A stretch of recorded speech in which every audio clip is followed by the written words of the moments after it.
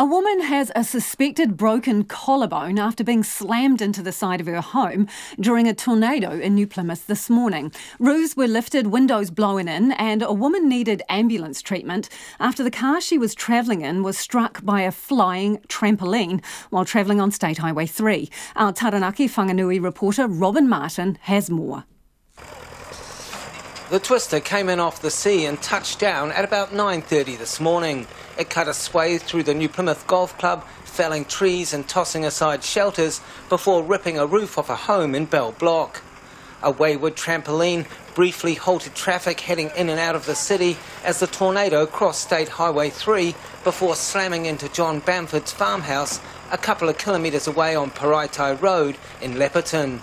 Mr Bamford says it came out of nowhere was sitting at the table having my breakfast. My wife was outside.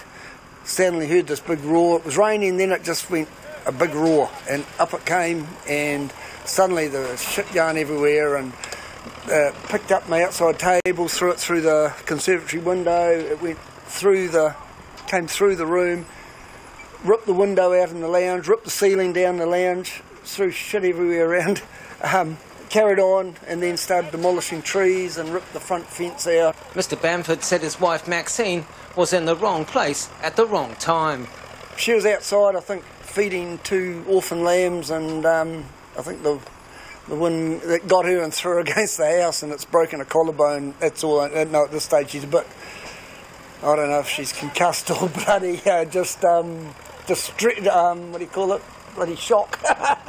St John's Ambulance confirmed that it transferred one patient who had suffered moderate injuries from Paraitai Road to Taranaki Base Hospital. The service also attended to a woman whose car had been struck by a trampoline on State Highway 3. She did not need hospital treatment. Before crossing the highway, the twister had wrecked the roof on Wayne Jury's two year old home on Cook Farm Grove, disturbing his breakfast as it did so. But I was watching out the, the dining room ranch slider because we'd heard a bit of a noise. And next minute it all went misty, you know. And next, the fence just started plucking off, so I just raced out away out of the line of the window. It tipped up the barbecue table and hit that sideways into the ranch slider and smashed the barbecue table. But I wasn't looking the rest of the time. When I opened my eyes again, sort of thing, I came out and here's all, all this. I couldn't believe it. Linda Jury was just happy no one in the cul-de-sac had been injured. It's only a house, isn't it? Even no one was injured. That it could have been real bad with the um, tin that was flying around in the roof. When you see how big some of the bits are that have flown, it's just unbelievable what it's done. Kiara Parks was on her way to school when she saw the Jury's roof take off. I was just driving down the road to school, and then I looked in my rearview mirror and I just saw all the roof like come over my car. And I, just, I didn't really know what it was. I thought like a house just got struck with lightning or something. So I just carried on. Then I went on the highway to go to school and like cars, a few cars have crashed. And that's when my nana called me because Nana's my neighbour. And she was like, um, you better come home. The Jury's roof had smashed into the front of the 17 year old's family home. Her neighbour, Beverly Webster, saw it coming. We were over at the daughter in law's having a co- we just finished a coffee because their lounge looks down here. It was so, so calm. I said to Lena, there's no wind, it's the calm before the storm. And then next thing, oops, hello, there's roof flying, there's debris flying everywhere. So we just grabbed the dogs and ran into the lounge. And we found all this mess now. I'm still shaken.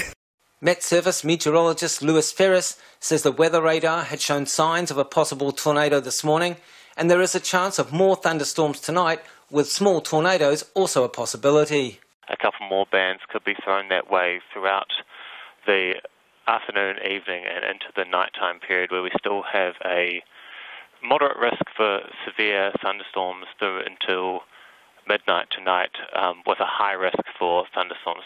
So we've encompassed damaging winds with that and small tornadoes possible. And if you do find yourself in the midst of a tornado, take a word of advice from John Bamford. Get out of the way. What, what, what did you think was happening? I suddenly saw that wrong. I thought, it's a tornado. And then I thought, ah, how do you stop it? and you can't. I know now. Powerco says about 800 properties were without power this morning due to storm damage. But by this afternoon, the number of customers affected in New Plymouth, Inglewood and Waitara was about 500. I ngā mutu mo te hōtaka o te ahi po nei, ko Robin Martinaho.